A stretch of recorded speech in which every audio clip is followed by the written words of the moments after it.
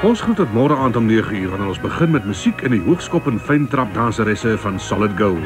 This is followed by a spine-chilling encounter with the legendary Count Dracula. En onthou, dis 'n gasheer wat u nie moet laat wag nie. Hot tempers, lukewarm refrigerators, and fraud claims are the ingredients of tomorrow night's episode of The Mothers-in-Law. Ons almal hier by 4. Goeie en lekker slaap. Good night.